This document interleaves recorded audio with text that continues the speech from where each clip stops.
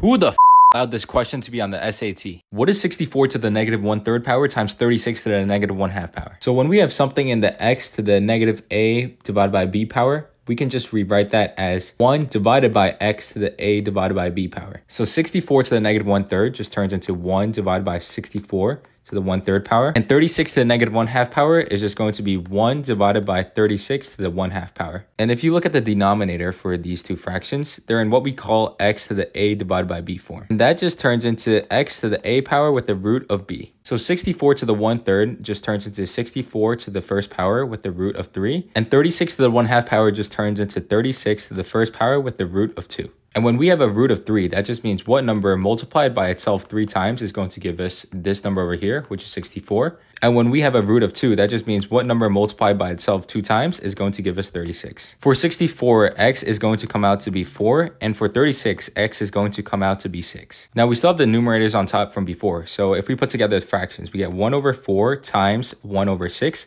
multiply out the denominators and we get 1 over 24. And if you want a bunch of free SAT prep stuff, it's all in my bio.